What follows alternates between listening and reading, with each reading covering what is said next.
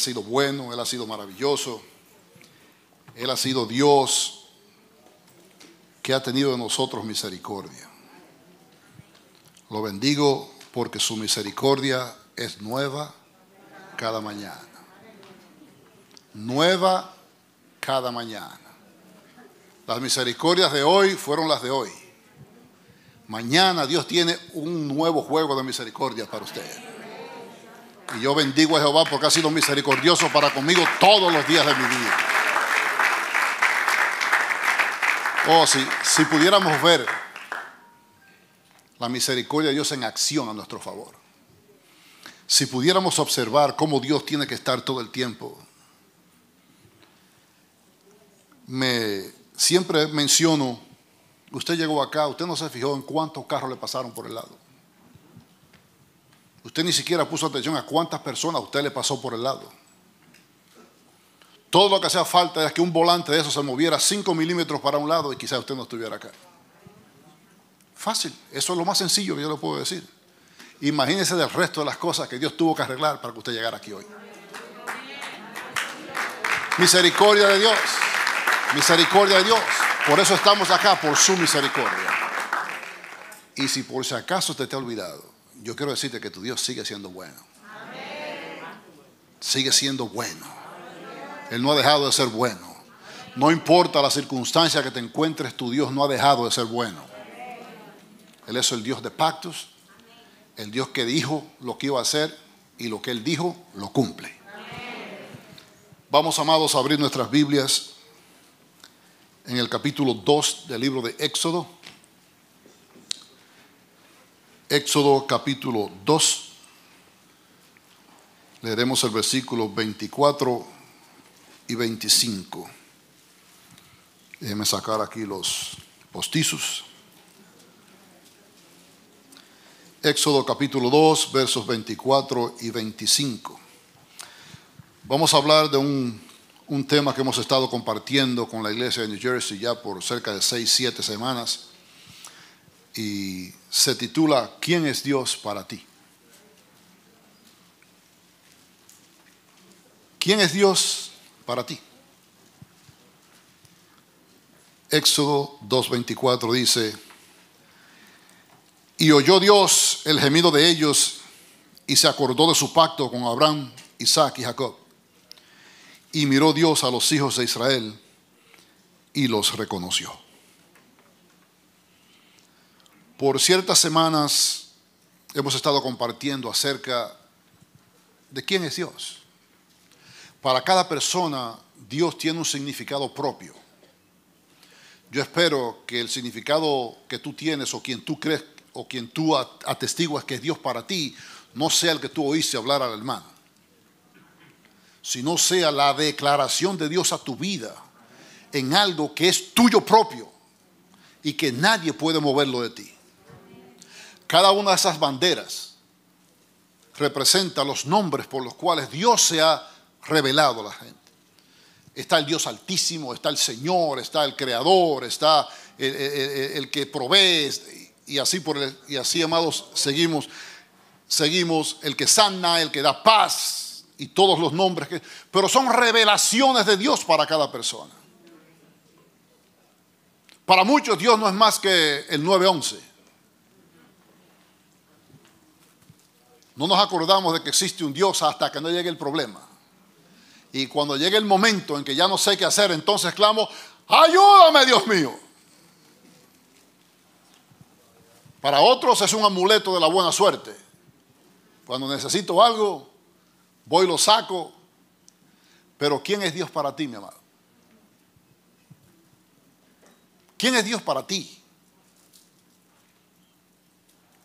Hace muchos años, cuando yo era joven, fui a, a un cine con mis amigos a ver una película que habían hecho cuando la Unión Soviética era la Unión Soviética, mediados de los 70 y uh, la película se trataba de un grupo de ricachones, si podemos decir así, aunque ellos no usan ese término en su costumbre comunista en aquellos tiempos. Pues la gente del gobierno tenía una isla privada allí en lo que se conoce, lo que se conocía como la Unión Soviética. Y ellos iban allí los veranos de vacaciones.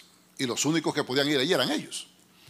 Entonces, en el medio de las vacaciones comenzó a haber un temblor de tierra y todas las estructuras en la islita se estaban destruyendo. Le dijeron a todo el mundo, arranquen para el aeropuerto, nos tenemos que salir de aquí rápido.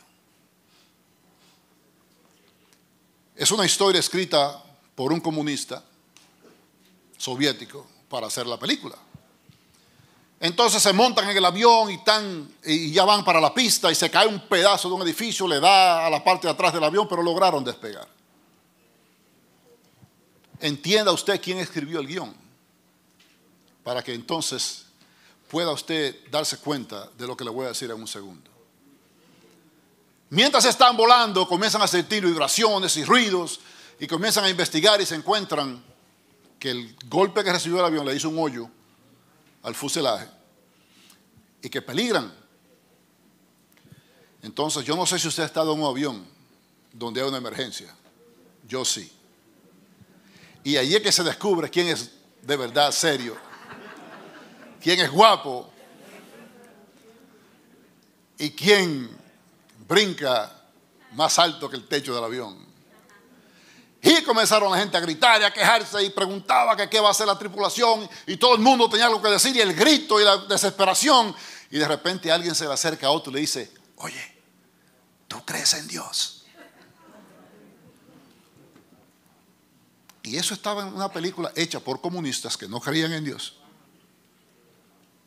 Pero en el momento de la desesperación, aunque era una película, ellos reconocieron que todo el mundo tiende a buscar de Dios. Y el Dios eterno se ha manifestado en nuestras vidas de muchas formas. Pero en cada forma que se ha manifestado, amados, lo ha hecho para cumplir con algo que prometió desde el principio, es estar contigo todos los días de tu vida. Él se ha manifestado a ti para confirmarte a ti que lo que dijo es cierto. Que no importa lo que tú veas, lo que no veas, cómo te sientas, cómo no te sientas, lo que Dios dijo es cierto y se cumple porque salió de la boca de Dios. El apóstol dice, o el escritor de los hebreos dice que hay, que hay dos cosas por las que Dios no puede mentir. Primero porque lo dijo. Y segundo, que Él no puede mentir. Y lo que salió de la boca de Dios es cierto, aunque nos parezca duro de creer. Sus pactos nunca fallan. Él es el Dios que se ha declarado a su pueblo como un Dios de pactos. Es un Dios que se declaró a Abraham y a cada segundo recordaba que era su pacto. Cada vez que hablaba con Abraham le decía, este es el pacto que yo he puesto entre mí y ti. Y volví a leer, este es mi pacto que yo he puesto. Y es constante mi pacto. Y me llamó mucho la atención que gramaticalmente está incorrecto. Usted siempre dice el otro después usted. Pero Dios siempre dice mí y después tú. Y meditando en todas estas cosas, he visto que el pacto de Dios no se cumple porque tú seas capaz de cumplirlo. No es porque tú seas capaz de cumplirlo, sino porque Él lo prometió. Me fui a estudiar acerca de la palabra que se usa para pacto allá y se usa la palabra berit, que significa un pacto hecho pasando por medio de carne. En medio de pedazos de carne. Es un aliado, una confederación, convenir, hacer alianza, prometer. Denota una alianza, un decreto o un acuerdo entre personas o entidades. Y cuando ese pacto se hacía, entienda usted que estamos hablando de un pacto que se hacía en aquellos tiempos. Cuando dos personas hacían un pacto, tomaban un animal y lo partían por mitad y caminaban entre el medio de, de los pedazos de la carne significando que si usted no cumplía la parte suya del pacto, usted iba a ser cortado como esos animales. Ese era el significado. Hoy día, un pacto no significa nada. Óigame, si usted va a buscar dos centavos prestados a un banco, lo hacen firmar 80 mil papeles. Tiene que buscar a alguien que lo respalde. Tiene que hacer tantas cosas. ¿Sabe por qué? Porque ya no se cree en nadie. En nadie. Mi abuelo era un hombre que creía más en el choque de manos que en el papel escrito. Y si hacía un pacto con usted, él esperaba que usted cumpliera su parte porque él iba a cumplir la suya. Si le prestaba usted dinero y usted le dijo, te lo traigo mañana, mañana aparezcase con o sin el dinero. Pero aparezcase. Y yo aprendí que tratando con mi abuelo había que ser así. Una vez fui de vacaciones a República Dominicana y allí se había un problema con los bancos y uno no podía cambiar un dólar en ningún sitio. Y yo iba a visitar a mi pastor de cuando yo era joven, él vivía en Asua, nosotros estábamos en La Vega, en Moca. Entonces le dije al, viejo, viejo, yo tengo un problema. Y me dice, ¿qué te pasa, mi hijo? Yo le dije a Papamón, digo, Papamón, yo no tengo pesos porque la casa de cambio y los bancos no están cambiando. Entonces necesito algún dinero porque quiero ir a casa a ver a mi pastor que vive por allá y y él, tenía costumbre de cómo ponía su dinero en el bolsillo. Usted sabe cómo eran esos viejos. Se mete la mano y, y usted ve el puño moviéndose y hace así, toma mi hijo. Y me sacó 250 pesos. Yo me fui, hice lo que tenía que hacer, visitar a mi pastor, regresé yo hice lo que tenía que hacer para conseguir esos 250 pesos. ¿Sabe por qué? Porque yo conocía cómo era mi abuelo. Busqué donde fuera, fuimos donde tuviéramos que ir, por fin conseguimos a alguien que nos cambiara dinero y al otro día por la mañana, tan pronto me levanté, fue le dije, papamón, mire, aquí está el dinero. Y me dice, mijo, tú no tienes que hacer eso. Digo, no, no, no, no, no, yo lo conozco a usted. Y yo sé que si yo le dije mañana, usted está esperando que yo me presentara mañana. O sea, aquí está el dinero. Mi amado, con eso me compré al viejo. Ese era de lo que se cae con el codo y rebota. Desde allá en adelante, lo que yo quisiera lo conseguía con él. Le encantaba irse a las galleras. Todas las tardes. Tenía un chofer que lo recogía y lo llevaba. Y ya a las 3, 5 de la tarde estaba de regreso. Como yo estaba allá y yo quería salir por la tarde, pues ya a las 3 y media estaba de regreso con el carro. Mira, mi hijo, ahí está para que te vayas. Ahora, cuando yo le traía el carro, se lo traía lavadito y lleno. Entonces, amados, hay partes que cuando se hace un pacto es necesario que usted entienda que a usted le toca cumplirla. Pero cuando se trata de un pacto que hizo Dios, por más que usted se esfuerce, usted verá, amado, que siempre usted va a quedar corto. Y es por eso que tenemos que entender que el pacto que Dios hace con nosotros no depende de nosotros, depende de Él.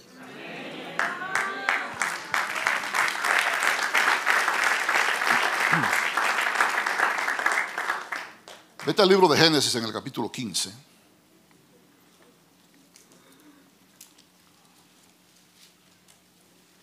No, 17, por favor. Génesis 17.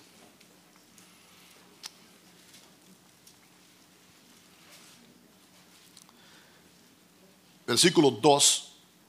Génesis 17, versículo 2.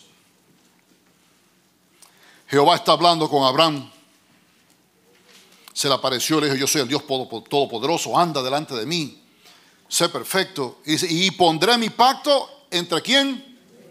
Entre mí y ti. Observen eso, hermanos. Y te multiplicaré en gran manera. Versículo 4. He aquí, mi pacto es contigo y serás padre de muchedumbre de gente. Versículo 7. Estableceré mi pacto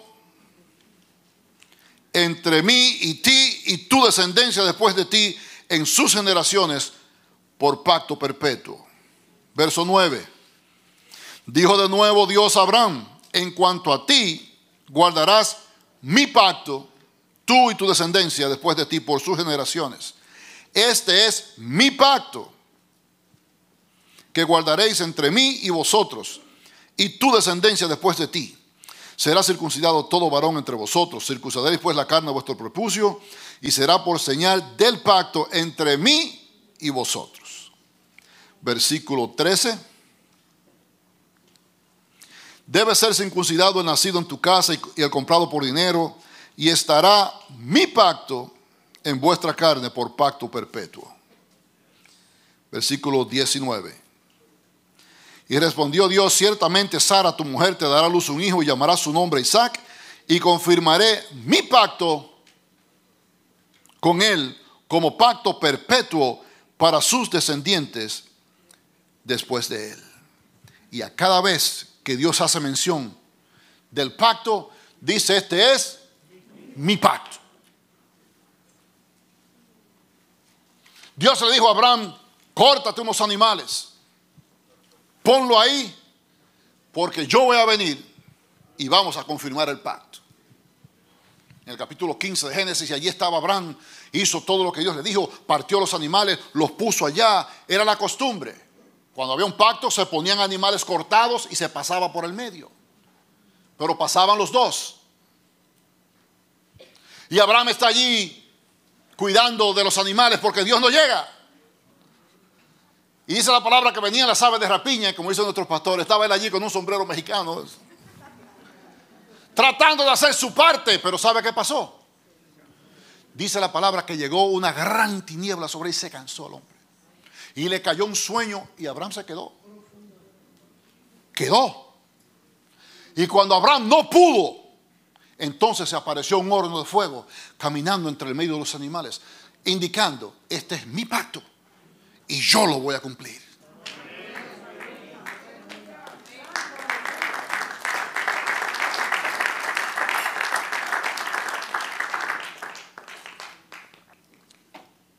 Y le dijo muchas cosas que iban a pasar con su descendencia. Desde el principio, cuando Dios llamó cuando Dios llamó a Abraham, le habló de una descendencia. Una descendencia que para él era imposible conseguir. Dios no le habló a él de descendencia con la esclava, le habló a él de descendencia con Sara. En Isaac, dice la palabra, te será llamada descendencia. Y le dijo, ten por cierto, en el capítulo 15 al final de Génesis, ten por cierto que tu descendencia irá a una nación, allí será esclava por 400 años. Pero de allá yo los voy a sacar a ellos con gran poder y gloria. Y la nación que los esclavizó a ellos, yo la voy a castigar.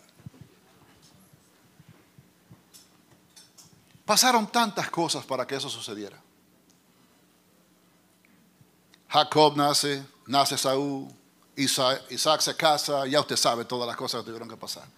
Pero un día Dios determinó que era tiempo de comenzar a hacer algo, que era necesario, aunque a usted le parezca extremadamente raro. Dios le dijo que lo iba a llevar a ellos como esclavos a esa nación hasta que llegara al colmo la maldad del amorreo. Si yo le digo a usted, mañana tú vas a ser esclavo porque te voy a proteger, a ver, ¿usted lo cree así? Dios se lo llevó a ellos a Egipto. Y allá provocó todo lo que provocó. Porque Dios tenía un propósito muy grande y era proteger ese pueblo. Oiga, de los lugares donde ellos estaban. Y usted dirá, wow, con protección así mejor déjame tranquilo. Esa es una protección media rara. Para eso mejor me defiendo yo mismo o como decían en el Chavo del Ocho, mejor no me defiendas. Pero Dios provocó una hambruna después de haber llevado a José a preparar el camino. Dios provoca el hambre y ahora saca a Israel de donde estaba. Los lleva a Egipto y los establece en el mejor lugar que hay en Egipto. Gosén. Y allí el pueblo estaba establecido, protegido por José. ¿Usted sabe qué pasa cuando usted se, llega a un sitio y está bien? Usted se acostumbra. Usted se acostumbra. nuestros muchachos que han nacido aquí, usted se los lleva a vivir a nuestras naciones, le aseguro que no venda su casa aquí.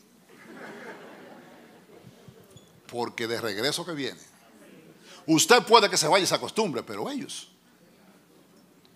Tiene una compañera de trabajo que decidió regresar y ella tenía un negocio allá, ella dijo que, le iba, que ella le va bien, que ella no tiene que estar acá y tenía dos niños, uno de 10 y uno de 7 años. Y yo le dije, María, cuidado, que tus hijos no nacieron allá. No, no, no, ellos se acostumbran. Digo, una cosa es ir de vacaciones, donde los tratan muy bien, otra cosa es vivir. No, no, no, no, vendió todo, vendió la casa, vendió todo lo que tenía en la casa y se fue a los tres meses. De regreso sin nada, comenzar de nuevo porque los muchachos no se acostumbraron. Amados, sus hijos están acostumbrados acá. Viven acá, nacen acá, sus costumbres son las de acá, aunque usted quiera dar las suyas. Tan pronto salen de la puerta de su casa, ya su mundo es diferente al suyo. Y se acostumbran a las cosas de allí. Israel llegó a Egipto y comenzó a acostumbrarse a Egipto. Pero de repente la cosa comenzó a volverse diferente. Mire, cuando usted está bien, usted no se molesta. Pero cuando las cosas comienzan a ponerse duras, usted comienza a moverse porque hay que buscar una salida. Y la salida de, Israel no era su fuerza porque no tenía ninguna. La salida de Israel estaba en Dios. Y aunque muchos de ellos ya habían dejado de conocer a Dios, había alguien allí que estaba orando. Había alguien allí que estaba clamando. Había alguien allí que se acordó que Dios hizo un pacto con ellos y comenzaron a clamar. Y Dios vio a sus hijos que estaban en el lugar donde estaban y en la, calidad de vida que estaban viviendo. Y dice que Dios los miró y se acordó del pacto. No porque se le haya olvidado, sino porque ahora llegó el momento de Dios poner a, a uso, a poner a trabajar lo que había prometido se acordó del pacto con Abraham, con Isaac y con Jacob. Dice que vio a sus hijos y los reconoció. Y comenzó Dios a mover las cosas. Comenzaron ellos a gritar, comenzaron a clamar, comenzaron a buscar formas y cómo están haciendo. Y de repente Dios saca a este muchacho que se había ido corriendo y estaba por allá cuidando las ovejas de su suegro y se le aparece, se le declara a Dios y le dice, yo soy el que soy. Y ahí comienza Dios a declarar a Moisés el pacto que él tenía con ese pueblo. Israel, mucho ya se había acostumbrado. Amados, Israel lo llevaron cautivo por 70 años, más de 500 mil personas, y un 10% regresó. El resto se acomodó. Ahora imagínense este pueblo con 400 años allí. Yo voy a cumplir 40 años de estar en esta nación. Ya yo mi nación no la conozco. Yo estoy más aclimatado a esta nación que a mi propia nación. Fui de vacaciones hace un par de años atrás y no conocía nada. Ya tenía 22 años que no regresaba y cuando regresé, amado, si me sueltan en un sitio por allí, tengo que preguntar 80 mil veces para llegar a dos esquinas. Porque ya yo estoy aclimatado aquí. Perdóneme. Y así somos todos. Israel fue 70 años a Babilonia y con los, con los persas y con el resto, y se acostumbró. Tanto así que cuando les dieron la libertad de regresar, regresaron 50 mil nomás. El resto se quedó, ya se acostumbraron. Y así hacemos nosotros muchas veces, amados. Nos acostumbramos y a las cosas que nos acostumbramos son bien peligrosas si no tenemos en cuenta en qué nos estamos metiendo. Israel fue llevado a Egipto con un propósito santo, aunque no pareciera así. Dios le dijo a Abraham, yo me lo voy a llevar hasta que llegue al colmo la maldad del amorreo. Y cuando lo sacó, comenzó a darle sus leyes. Y el primer mandamiento que le dio fue, no te harás dioses ajenos, no tendrás dioses ajenos delante de mí. ¿Usted sabe por qué? Porque en Egipto todo lo que hay es idolatría. Y ya ellos estaban acostumbrados a Egipto. Pero ellos no son egipcios, ellos son el pueblo de Dios. Y Dios les dijo, primer mandamiento, no te vas a hacer dioses ajenos delante de mí, no te inclinarás a ellos, no los adorarás. ¿Por qué? Porque yo soy Jehová, tu Dios. ¿Quién eres tú? Jehová, tu Dios. y les dio los diez mandamientos, por el primero. El primero fue advirtiéndole a no adorar dioses ajenos. Ninguna imagen de nada que esté ni en el cielo, ni en la tierra, ni en las aguas debajo de la tierra. Yo no te vas a inclinar a ellas ni las adorarás. ¿Por qué? Eso es lo que se en Egipto, hermanos. En Egipto se adoraba al gato, al perro, al toro, a la rana, a todos los insectos, de tal forma que cuando Dios fue a castigarlos, ¿qué usó? Todas esas cosas que ellos adoraban y se los convirtió en plaga. Pero al sacarlos, los llevó a un sitio a declararles sus leyes y lo que él esperaba de ellos. Vete conmigo a Levítico 18.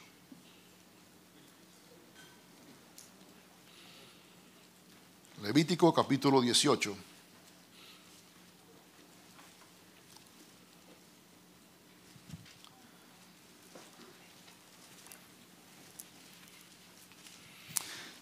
Habló Jehová a Moisés diciendo, habla a los hijos de Israel y diles, yo soy Jehová vuestro Dios.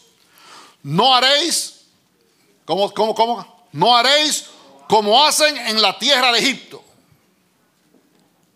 en la cual morasteis, ni vas a hacer tampoco como hacen en Canaán, a donde tú vas, a donde yo te conduzco. Primer problema que tuvo Israel en el desierto cuando Moisés fue al, monte a hablar con Dios, ¿qué hicieron? ¿Qué hicieron? Enseguida le dijeron a Aarón, haznos un Dios. Porque este Moisés no sabemos lo que le pasó. ¿Y qué hicieron? Un becerro, algo que ellos estaban acostumbrados a ver. Y cuando lo hicieron, Aarón se los presentó y dice, aquí tu Dios que te sacó de la tierra. La costumbre. Usted no se da cuenta pero hay tantas cosas que se nos meten adentro y a las que nos acostumbramos, que ya las hacemos sin ni siquiera mirar. ¿Cuántos muebles usted tiene en su casa? Hay muebles por doquier, ¿verdad que sí? Que la silla por acá, que si el... usted entra a su casa con las luces apagadas y, va, y cruza por ahí, llega, es fácil. Porque ya usted está acostumbrado a donde están todas las cosas. El día que su mujer le dé de decorar, y mueva las sillas y usted llegue y usted no se ha dado cuenta y entra con la luz apagada, ¡pum! ¡Ay! Y no grita más fuerte porque todo el mundo está durmiendo. ¿Por qué? Porque ya no es lo mismo a lo que usted está acostumbrado. Y muchas veces, amados, tenemos que tropezar con cosas para darnos cuenta de que eso no es lo que yo tengo que estar haciendo. Y Dios le dijo, no te vas a hacer las cosas como tú las hacías en Egipto, ni tampoco te acostumbres a los lugares donde tú vas ahora, donde yo te conduzco. Versículo 4, 3. No haréis como hacen en la tierra de Egipto, en la cual morasteis, ni haréis como hacen en la tierra de Canaán, a la cual yo os conduzco, ni andaréis en sus estatutos. Mis ordenanzas pondréis por obra y mis estatutos guardaréis andando en ellos, yo Jehová, vuestro Dios. Por tanto, guardaréis mis estatutos y mis ordenanzas, los cuales haciendo el hombre, vivirá en ellos y vuelve y firma, yo Jehová.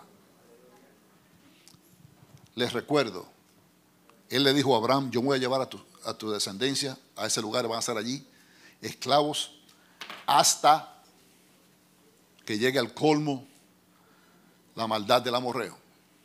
Ya había llegado el colmo. Ya llegó el tiempo. Y Dios les dice, no hagas lo que hacían en Egipto, pero tampoco hagas lo que hacen donde tú vas. Amados, y es impresionante las cosas que se hacían allí. Versículo 6. Ningún varón se llega a parienta próxima alguna para descubrir su desnudez. Yo Jehová. La desnudez de tu padre, la desnudez de tu madre no descubrirás. Tu madre es, no descubrirás su desnudez. La desnudez de, la mujer de tu padre no descubrirás, esa es la desnudez de tu padre. La desnudez de tu hermana, hija de tu padre o hija de tu madre, nacida en casa o nacida fuera, su desnudez no descubrirás. La desnudez de la hija de tu hijo o de la hija de tu hija, su desnudez no descubrirás porque es la desnudez tuya. La desnudez de la hija de tu mujer, de tu padre, engendrada de tu padre, tu hermana es, su desnudez no descubrirá, la desnudez de la hermana de tu padre no descubrirás, es parienta de tu padre, la desnudez de la hermana de tu madre no descubrirás porque parienta de tu madre es, la desnudez del hermano de tu padre no descubrirás, no llegarás a su mujer, es la mujer del hermano de tu padre. La desnudez de la nuera no descubrirás, mujer es de tu hijo. No descubrirás su desnudez. La desnudez de la mujer de tu hermano no descubrirás, es la desnudez de tu hermano. La desnudez de la mujer de, tu, de la mujer y de su hija no descubrirás. No tomarás la hija de su hijo ni la hija de su hija para descubrir su desnudez. Son parientas. Es maldad. No tomarás mujer juntamente con su hermana para hacerla rival, descubriendo su desnudez delante de ella en su vida. No te llegarás a la mujer para descubrir su desnudez mientras esté en la impureza menstrual. Además, no tendrás acto carnal con la mujer de tu prójimo, contaminándote con ella. Y no des tu hijo, hijo tuyo, para ofrecerlo por fuego, para ofrecerlo por fuego a Moloch. No contaminaréis así el nombre de tu Dios, yo Jehová. No te echarás con varón como con mujer, es abominación. Ni con algún animal tendrás ayuntamiento mancillándote con él ni mujer alguna se pondrá, delante de animal para ayuntarse con él, es perversión. En ninguna de estas cosas os amancillaréis, porque en todas estas cosas se han corrompido las naciones que yo he hecho de delante de vosotros.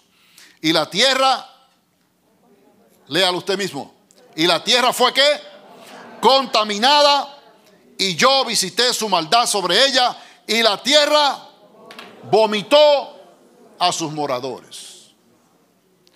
Todo lo que hemos leído eran las costumbres de esa tierra. Dios le dijo a Abraham, los voy a llevar allí y allí van a estar esclavos hasta que llegue la maldad. Pero eso no fue solamente, amados. Él los llevó allá para proteger a ese pueblo de verse envuelto en todas esas cosas. Mis amados, les dije hace un rato que nosotros llegamos a un sitio y nos aclimatamos y nos hacemos parte de todas las cosas. ¿Cuántas cosas se hacen en esta nación que usted nunca en su vida pensó? ¿Cuántas cosas usted ve ocurrir a cada rato por las calles que en su vida, en su nación, usted había visto cosas semejantes?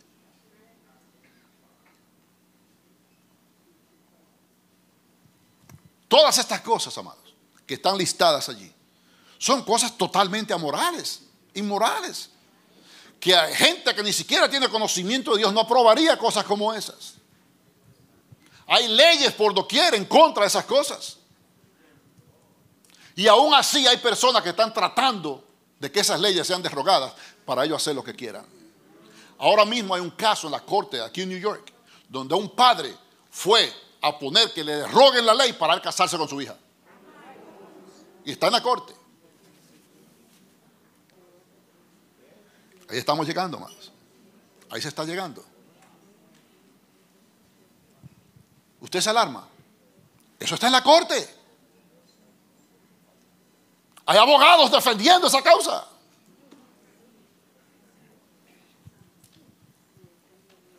Por eso Dios mantuvo a Israel allá y no los dejó salir. Porque si les da campo libre, puede que se hayan vuelto. ¿Cuántos de ustedes, ustedes hubieran podido, si hubieran vuelto a sus países hace muchos años? ¿Cuántos? Yo llegué a esta nación y tenía planes de estar aquí cinco años nomás. Ya voy para 40.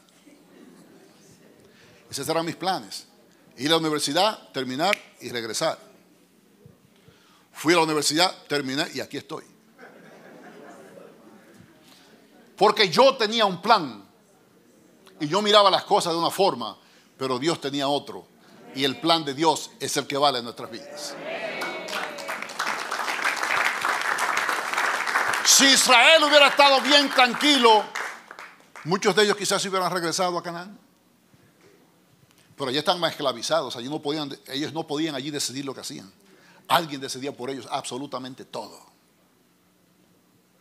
Cuando yo me listé en el ejército, allí le tratan a usted a veces usted diría inhumanamente. Desde que usted se levanta hasta que se acuesta, hay alguien gritándole en la cara. Y se le paran adelante y le dan con el sombrero y le gritan y le dicen de todo y un aliento precioso que tienen algunos de ellos. Pero todo eso tiene una razón. Yo le pregunté a uno, ¿por qué ustedes siempre están gritándole a la gente? Y me dice, yo tengo ocho semanas para transformarte a ti de civil a militar. Y yo no puedo estar tratándote con mano suave. Tengo que darte disciplina militar, porque así es como se espera, que cuando tú salgas de aquí te comportes. No es como tú quieres, es donde te enlistaste. Y ese pueblo lo escogió Dios antes de ser de un hombre que era pagano, a quien Él se le reveló, a quien Él habló, a quien Él le dio mandamiento y con quien hizo un pacto. Y de ese hombre salió ese pueblo que les dijo un día, sal afuera y mira las estrellas, cuéntala a ver si puedes contarlas. Lo llevó a la orilla y cuenta la arena, a ver si puedes contarlas. Y así es el pueblo, está por doquier. Un pueblo numeroso, pueblo próspero, donde quiera que vaya. Pero esa promesa es el pacto de Dios para con ellos. Pero amados, 400 años de esclavitud. ¿A quién le hubiera gustado eso? Pero es que ya nosotros tenemos planeadas todas las cosas. Dios me va a llamar, me va a poner en ministerio, me va a dar una iglesia numerosa y yo voy a estar allí manejando mi Rolls Royce o lo que sea y ya yo tengo mis planes hechos. El problema es que los planes tuyos son los tuyos, pero el plan de Dios es el plan de Dios. Y el plan de Dios con Israel parecía loco. Esclavitud. Tú no quieres el Dios que nos vas a prosperar, el que, se provee, el que me sana, el que me ayuda, que mi bandera. Y, esclavo. Vuelvo y te digo, Dios lo puso allá para protegerlo de todas las cosas que leímos. Porque si ellos hubieran regresado antes de tiempo, se hubieran mezclado con ese pueblo y a ellos también lo hubiera vomitado la tierra. Ahora usted está entendiendo cómo son los planes de Dios. Que no son siempre como usted se imagina, sino como Él ha determinado. Que no es siempre lo que usted vio en el camino, sino donde Dios te llevó al final. Estaba conversando con dos de mis hermanos de, la iglesia de New Jersey y eh, hay uno que es de los del altar. Y él me contaba todas las cosas que pasó para llegar a esta nación. Cómo tuvo que cruzar ese desierto buscando ayuda, nadie lo quería ayudar. Fue a una casa a pedir comida y le tiraron un, bloque de, tortillas congeladas y le dijeron vete de aquí. Y llegaba a los pueblos y no querían saber de él. Y pasó de todo eso, llegó aquí y era un borracho andando en las calles, conoció a otro hermano y ese hombre lo recogió, lo llevó a su casa. El muchacho fue aprendiendo y viendo las cosas de Dios y Dios lo sanó, Dios lo libertó del alcohol, Dios lo, prosperó, hoy día está casado, tiene casa, tiene cuantas cosas. Y yo le pregunté a él, ¿pensabas tú cuando estabas en el desierto a dónde te iba a llevar Dios? Ahora que tú puedes mirar atrás y ver todo lo que Dios hizo en todo ese tránsito, a pesar de las cosas que pasaste, de todo lo que sufriste, de los desprecios y de cuántas cosas te hicieron pasar, ahora tú puedes ver que era Dios guiándote. Pero en el camino, usted sabe las ilusiones que nos hacemos nosotros para llegar a esta nación. Hace una semana ahí en México se volteó un camión. Eran cincuenta y tantos muertos y un montón de personas heridas. Unos cuantos de ellos eran muchachitos dominicanos, jovencitos. Uno de ellos había pagado 22 mil dólares para que lo trajeran acá. Y murió en el camino.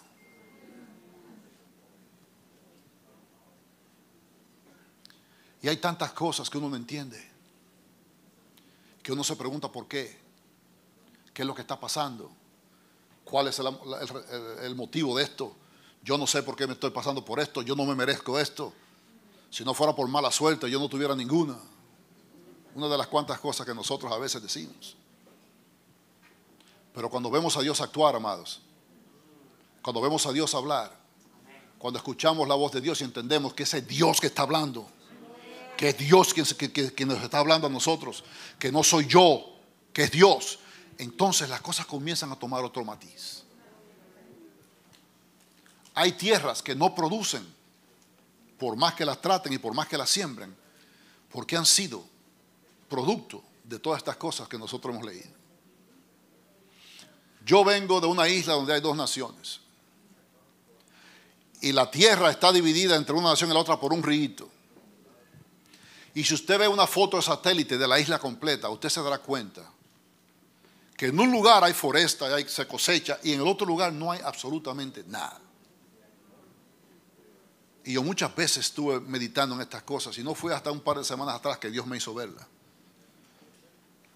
Y esa tierra fue dedicada a los demonios. Desde su fundación fue dedicada a los demonios. Y esa tierra es maldita y no produce. en el otro lado, esa tierra, allí fue entró lo que se conoció en aquellos tiempos como el cristianismo. Ahí entró la, la adoración a Dios de la forma que usted quiera llamarle.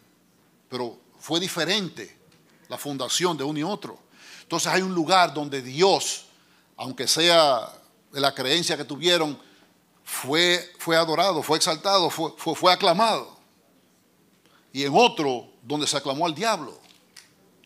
Haití se conoce hoy simplemente por el vudú y por la violencia. Gloria a Dios que nuestros hermanos fueron liberados hoy. Los amados que estaban secuestrados fueron liberados hoy. Bendito sea el Señor. Pero aún a la gente que va a darles ayuda, lo secuestran. La violencia es tremenda. Un presidente allí no dura ni el término para que fue elegido. O lo sacan o lo matan. Y es constante, amados. Y yo no estoy aquí para denigrar a Haití, simplemente estoy aquí para decirte que hay cosas que cuando se hacen traen consecuencias. Y la tierra, dice ese versículo que está ahí, la tierra fue contaminada. Y fue contaminada no porque le echaron petróleo, que le echaron aceite, no, fue contaminada por lo que ellos hacían.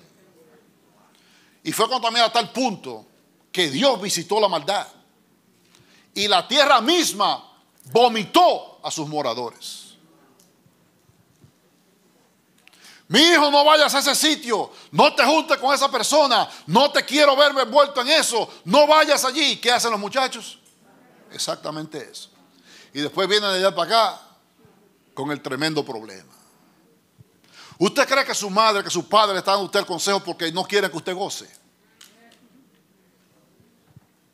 Le está dando el consejo porque quiere evitarle ciertas cosas que le van a suceder si usted lo hace. Y es inevitable. Yo me acuerdo cuando mi mamá me decía, no vayas ahí, yo iba, pan, de allá venía con un golpe, seguro. Y cuando llegaba a la casa entonces me daban el otro. Porque esa vieja no comía cuentos, ni come cuentos todavía. Hace ya, antes de yo casarme, fue la última discusión que yo tuve con ella y me dijo, a mí se me importa que usted llegue allá arriba, con un palo de escoba te cojo. Pero gloria le doy a Dios por esa mamá. Gloria le doy a Dios porque no me dejaba meterme en problemas.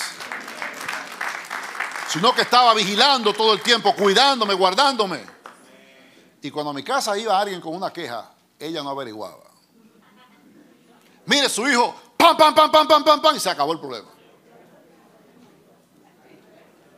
Rápido. Y me decía, no me busquen problemas porque yo no voy a pelear por muchachos. Entonces, nosotros aprendimos que si había un pleito, todo el mundo va a ver el pleito, nosotros corríamos para el otro lado. Porque se iban a mi casa y le decían a mi mamá, ahí estaban los hijos tuyos en el pleito, aunque no estuviéramos peleando, la pela de allá va. Y son costumbres que usted se lleva, que usted aprende y que muchas veces tienen que ser enseñadas con mano dura para sacar algo de nosotros. Ay, si a mí me hubieran dejado hacer lo que yo quería. Si por mí fuera, qué lejos estuviera este lugar. Pero la misericordia de Dios, la misericordia de Dios, la misericordia de Dios en su pacto eterno me ha traído hasta aquí. Y no porque yo me lo merezca, ni por lo que yo puedo hacer, sino porque Él lo ha decidido así. Él dice la palabra, Él, Él, Él te llamó. Él te escogió, Él te predestinó, Él te glorificó y todo lo ha hecho Él. No porque nadie se lo merezca. La palabra de Dios dice, no, esto no es nuestro, esto es don de Dios, es gracia.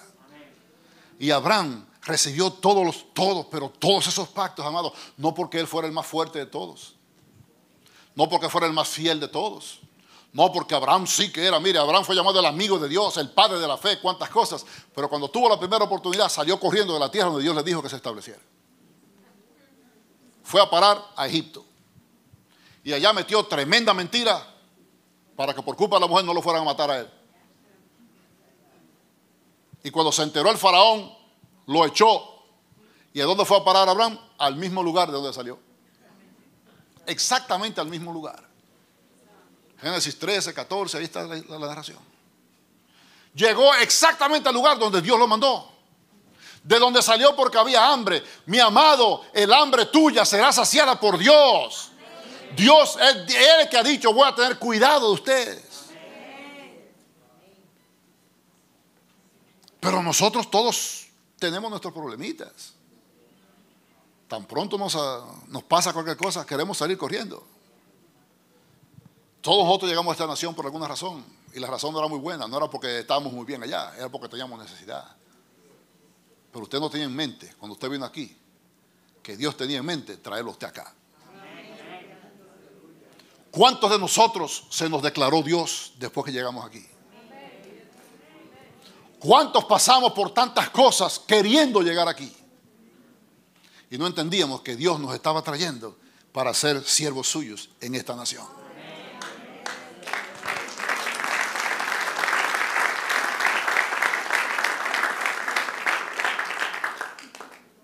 Los metió para protegerlos.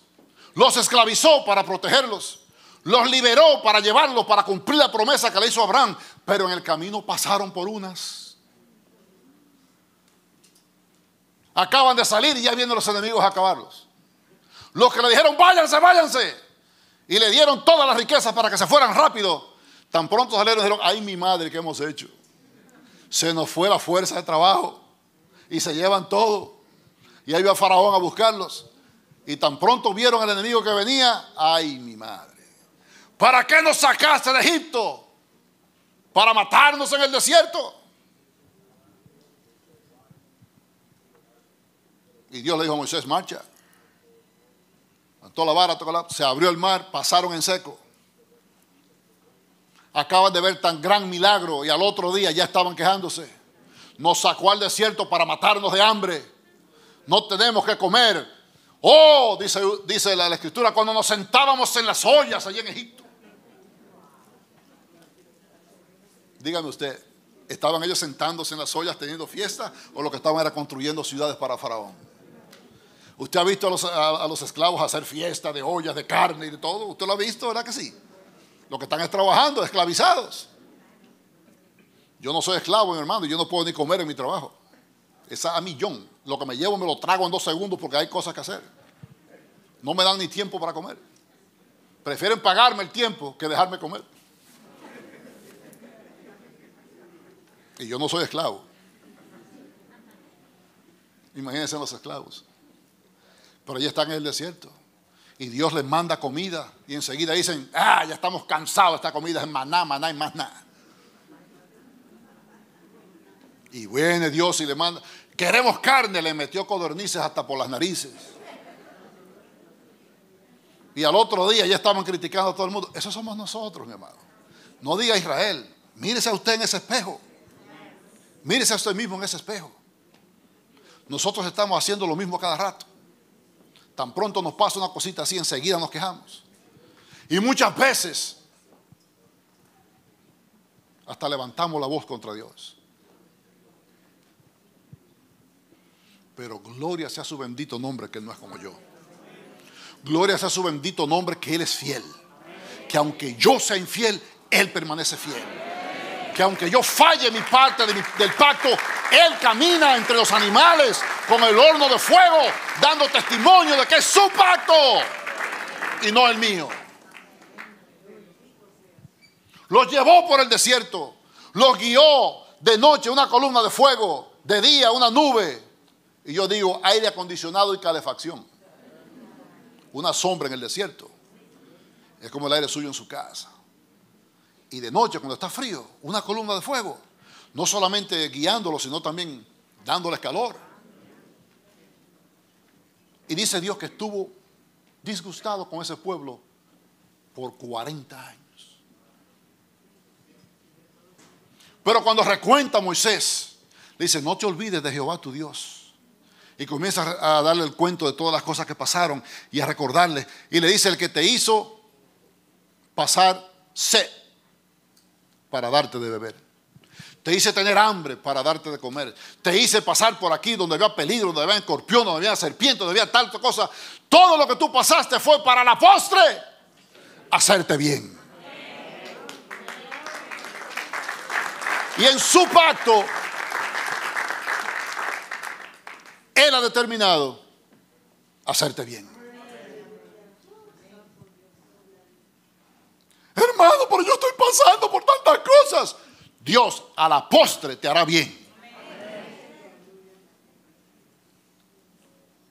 Me acuerdo cuando mis hijas estaban pequeñitas que a veces querían ciertas cosas que yo no podía dárselas.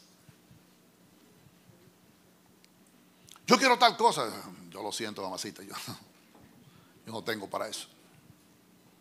Porque ven a los otros. Entonces ven a los amiguitos que tienen ciertas cosas y ya no pueden tenerlas y se ponen medios. Ya usted sabe. Pero nunca le faltó un, zapato en sus pies. No serían Nike de 200 dólares, pero tenían zapatos en sus pies. Nunca le faltó ropa. La comprábamos de la que remataban en las, en las tiendas grandes que ya no la vendían, se fueron, salieron de moda, por eso es el mismo pantalón que te va a vender mañana. Entonces se lo dan a estas tiendas que los rematen y allí nosotros se la buscamos. Nunca estuvieron desnudos. Comida, lo que mi esposa cocinara, pero siempre hubo un plato en la mesa. Y Dios nos ha protegido de esa forma toda nuestra vida. Y la palabra que nos ha dado ha sido fiel y ha sido verdadera desde principio hasta fin.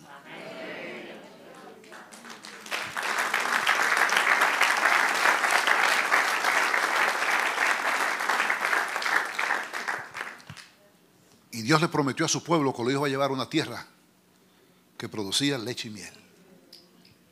Le dijo, les voy a dar agua de beber de las, lluvias del cielo.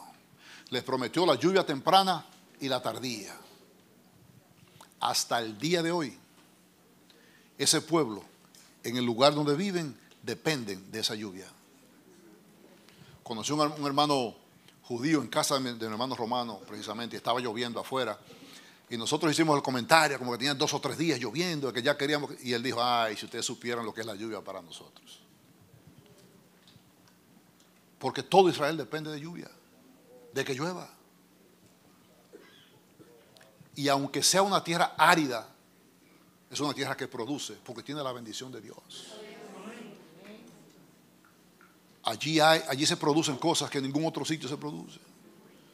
Gente de todo el mundo van a Israel a averiguar cómo que ustedes hacen producir esta tierra. Y ellos han un montón de métodos, que si aquello, que si las gotas, que si por aquí, que si por allá, pero todo eso viene de Dios. Porque es un pueblo protegido por un pacto que hizo Jehová. Un pacto en el que Él se comprometió, Él, a cumplir. Abraham, aunque fue el hombre escogido, tuvo muchísimas fallas. Y gloria a Dios que no las oculta. Dios no oculta ninguna de las fallas de Abraham. Están todas ahí escritas. Es para demostrarnos, amados, que esto no depende de nosotros. Usted trata y usted se esfuerza y de repente se cae y ya se, se amarga y dice que usted no sirve, que ya usted no puede, que por aquí, que por allá, y Dios sigue detrás de usted diciendo, no, no, no, soy yo que te voy a levantar. Él es el que da fuerza al cansado y multiplica las fuerzas al que no tiene ninguna. Él. Él. Y cuando Él se propone algo, mi amado, mire, cuando Dios se propone algo, no hay nada que lo pare. ¿Sabe por qué se lo digo? Porque yo hoy amanecí cansado. Llegué al trabajo y me esperaron con una queja de la noche anterior, acusándome de haber hecho algo que yo ni ahí estaba. Entonces me amargaron el día desde que comenzó. Y me eché el día, sube un piso, baja al otro, arreglando esta máquina, arreglando la otra, y aquí por allá. Y en la tarde se dañó una de tal forma que tuvimos que comenzar a desarmarla. Cuando yo estoy trabajando, pongo el teléfono en vibrador porque no quiero que suene y las distracciones. Y estaba allí trabajando desde las 2 de la tarde. Estoy subido allí en una escalera, bajo una correa, haciendo esto, haciendo aquello.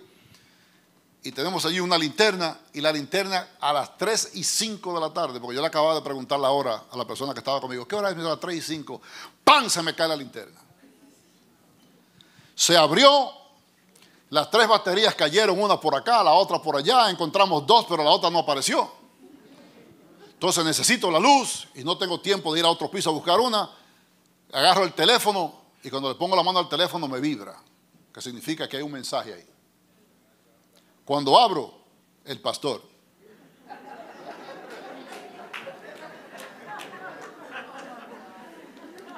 Eran las 3 y 10 de la tarde.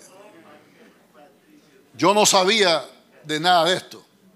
El pastor me había llamado hace una hora. Yo estaba trabajando y yo no me había dado cuenta, pero Dios sí sabía lo que estaba haciendo. La, la linterna se cayó, se rompió las baterías cayeron dos por allá y la otra no la encontraba. Que si la hubiera encontrado, pues la pongo y sigo con, la, linterna. Pero no, ahora quise usar la linterna del, teléfono. Y cuando saqué el teléfono, ahí estaba la llamada y el mensaje del pastor. Yo estoy parado aquí por la misericordia de Dios. Cuando a veces ustedes lo agarran por aquí, así, así es como yo estoy. Pero yo no había caído en cuenta de nada de esto. Después que terminé el trabajo, y estaba guardando todo. Entonces me di cuenta, oye, lo que hizo Dios ahora. Porque yo no me hubiera dado cuenta de esto hasta las 4 de la tarde, que fue cuando terminamos, cerca de las 4. Pero Dios provocó que se cayera la linterna, que yo no encontrara la tercera batería, para que tuviera que coger el teléfono y decirme, a ti te toca hoy alimentar a mi pueblo.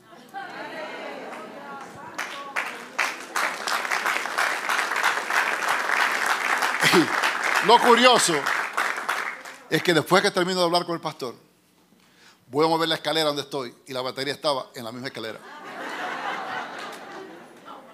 Yo no tuve que usar la linterna de mi teléfono. Le puse la otra batería y ya terminamos el trabajo. Amados, cuando Dios se propone hacer algo, cuando Dios dice voy a hacer esto, cuando Dios tiene planes para ti, no importa dónde tú te metas, allí te encuentra Dios. Si me fuera a los cielos, allí tú estás. Si me fuera por allá, allá. Y si me voy, allí me encuentras. La batería estaba al lado de mis pies. Cayó entre los pies míos y yo me bajé de la escalera y ni la vi. Y mire que me tiré por el piso a buscar. Y estaba ahí mismo.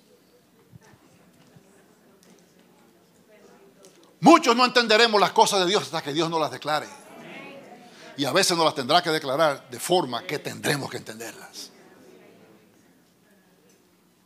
Por eso, cada uno de estos nombres representa una revelación de Dios personal a alguien. De tal forma que cuando usted le diga, no, eso no existe, espérate, déjame contarte lo que hizo conmigo.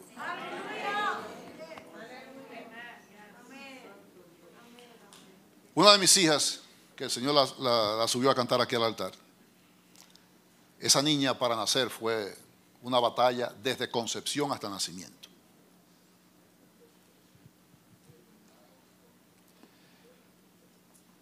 Ya nosotros habíamos decidido, ya teníamos tres hijas, ya no vamos a tener más. Ese año fue el que yo vine a la iglesia, fiesta de agosto, todo el que vino estaba hablando, herencia de Jehová son los hijos, hijos por aquí, hijos por allá y donde quiera los hijos. Entonces yo le dije a mi esposa, bueno, yo creo que Jehová nos está hablando a nosotros. Porque ya le dije, nosotros ya estábamos, la más, la, más pequeña en ese tiempo tenía seis años. Ya estaba en la escuela, comenzar otra vez. Y bueno, yo creo que Jehová nos está hablando a nosotros. A los tres meses ella salió embarazada. Tres meses entre el embarazo, va a hacerse los exámenes y todas las cosas. Y esa noche teníamos una cena en un lugar y yo la llamo, prepárate, te voy a recoger. Y ella me dice, ah, me han dado malas noticias acerca de, la bebé. Del bebé, porque no sabíamos nada del sexo todavía. Y yo digo, sí, ¿qué te dijeron? Me dice, no, cuando tú vengas. Entonces allí yo terminé lo que estaba haciendo, empaqué y salí para la casa. Cuando llego allá me encuentro con todos estos determinaciones de los médicos y exámenes de todos los laboratorios y cuantas cosas usted no se imagina. Nada positivo. Nada. Fue horroroso tener que leer estos reportes acerca de tu propio hijo. Que no se está desarrollando, que no hay cerebro, que los huesos no se están formando, que para acá, que para allá, con todas las enfermedades sabidas y por haber. Y un día nos citaron y fuimos a hablar con, con la doctora y nos dijo, si usted decide llevar ese embarazo a término completo, esa es su responsabilidad. Nuestra determinación, aborto. Yo te dije a ti que nosotros no queríamos más muchachos. Te lo dije al principio, ¿verdad? Ya estábamos satisfechos con las tres que teníamos. Pero entendimos que Dios se había dicho que quería otro.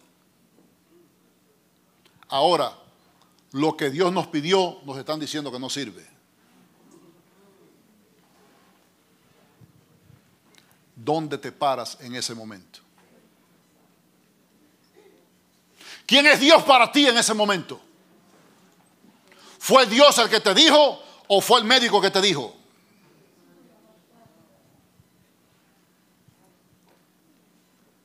¿Sabes qué? Cogimos aceite, ungimos esa barriga, declaramos que se iba a hacer para poner en vergüenza a aquellos que se creen sabios. Siguió el embarazo. A los seis meses tuvieron que ponerla en cama porque comenzó a dilatarse, dolores de parto y todas las cosas. Cama por como tres o cuatro semanas. Siguió el embarazo. El día que ellos determinaron que iban a hacer, yo me iba a trabajar y ella me dice, no te vayas, no me siento bien. Y yo conozco a esa muchachita. Y cuando ella dice, no te vayas, es porque las cosas son serias. Me senté ahí a la media hora, me dice, vámonos para el hospital, ya rompí fuente. Arrancamos para el hospital, llamamos que íbamos, y cuando llegamos, adivine quién estaba esperándonos. Misma doctora que nos dijo, aborten, que esto no sirve. Así fue que nos dijeron, amados, no, esto no es un juego. Comienza que los dolores que para acá, entonces las contracciones no eran suficientemente fuertes para empujar a la muchacha, y le ponen una inyección y ella dice, ya, y ¡pum! nace la niña. Usted la conoce aquí arriba, usted la ha visto danzar, usted la ha visto cantar para el Señor. Nosotros decidimos creerle más a Dios que a lo que decía el laboratorio. Decidimos creerle más a Dios que a la recomendación del médico, porque nosotros estábamos convencidos que esa niña la quería Dios.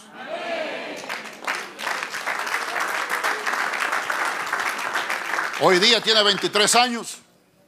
Dígame usted si le da algún defecto, excepto que come mucho. Una niña hermosa que, que adora a su Dios. Amados, la travesía por esos nueve meses fue horrorosa. Cada, minuto era esperando que Dios hiciera un milagro. Y al final de la trayectoria, Dios hizo el milagro para la gloria de su nombre.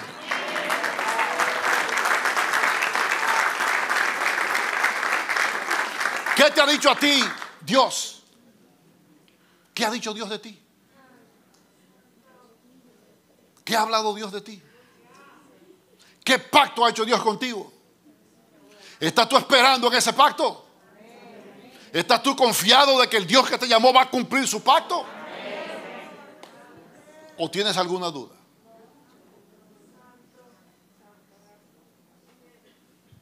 Si te queda alguna duda, mira al Dios que te llamó y averigua si Él ha fallado alguna vez.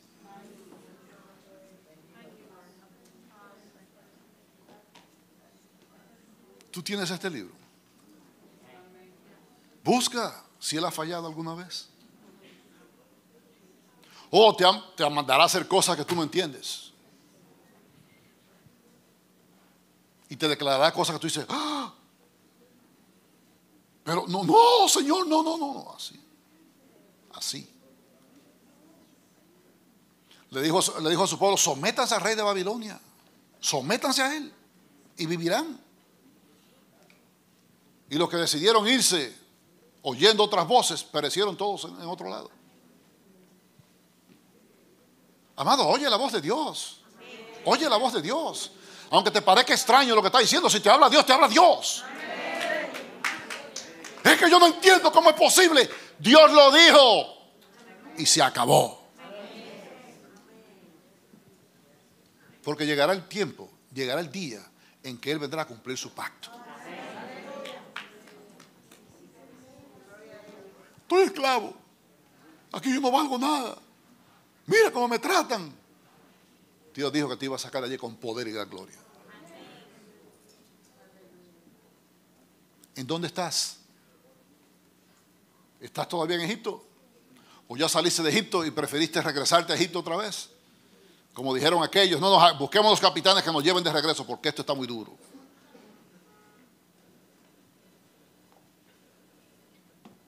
Allí estábamos mejor, allí.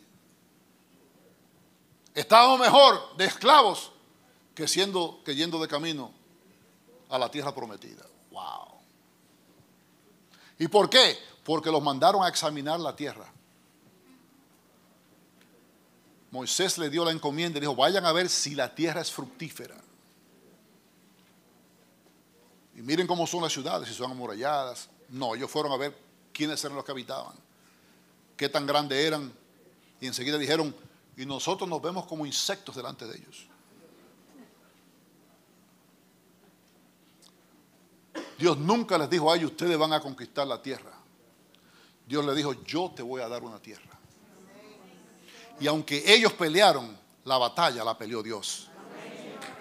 La victoria la dio Dios. El triunfo es de Dios.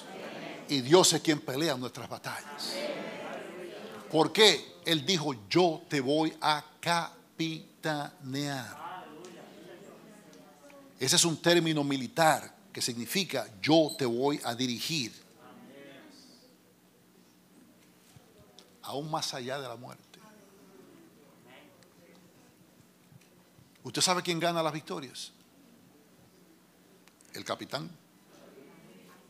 Aunque el soldado pelee, a quien se menciona es al capitán. ¿Usted sabe cuántas batallas ganaron los, soldados en, la Segunda Guerra Mundial? Muchas. Pero ¿a quién se, menciona? A MacArthur, a Doolittle, al otro, a, todos los generales grandes.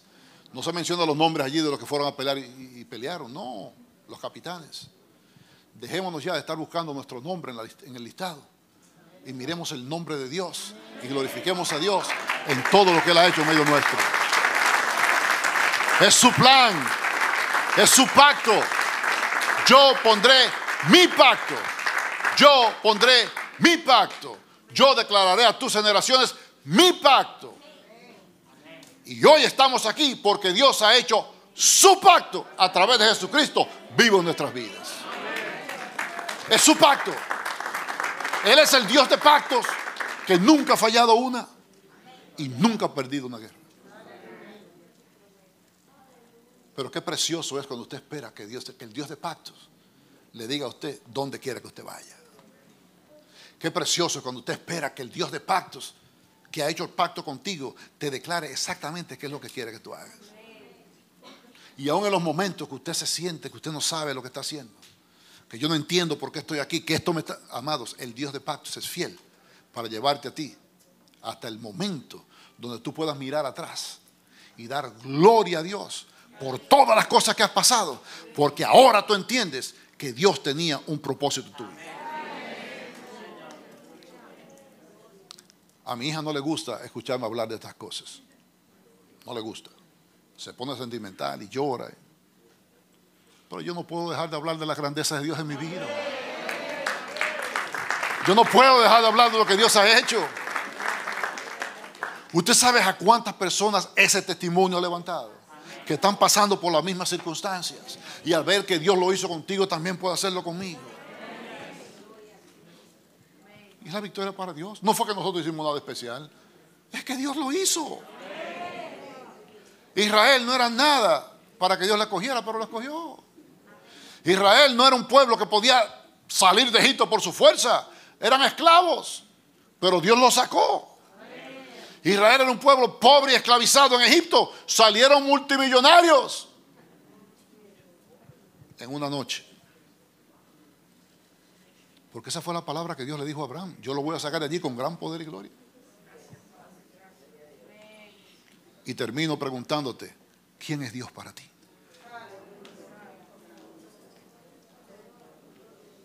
¿Quién es Dios para ti? El Dios que escuchaste una vez ¿O el Dios que se te reveló a tu vida en forma real? Que tú puedes hoy declarar, Dios ha estado conmigo. Que Jehová Dios eterno cumpla en ti el pacto que Él hizo contigo y te declare a ti en tu corazón qué es lo que quiere que tú hagas. Para que al final del recorrido, por más tropezones que des, entiendas que en cada tropezón allí estaba levantándote el Dios de pactos. Jehová te bendiga y te guarde. Padre, gracias. Gracias porque tú eres el Dios que prometes y que cumples. Gracias porque tú eres el Dios que nunca ha fallado. Gracias porque cada palabra que ha salido de tu boca, Dios mío, no regresa a ti vacía, sino que cumple aquello para lo que tú le enviaste. Permite, Dios eterno, que tus pueblos te vean, ay Señor, y que estemos siempre, siempre, siempre pendientes de que le servimos al Dios que hizo pacto con nosotros. Que tú, Señor eterno, nos llevarás hasta el final. Y que lograrás en nosotros aún aquello que nosotros creemos que es imposible.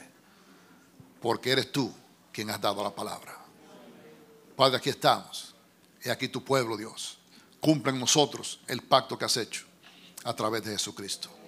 En el nombre de Jesús. Aleluya. Amén.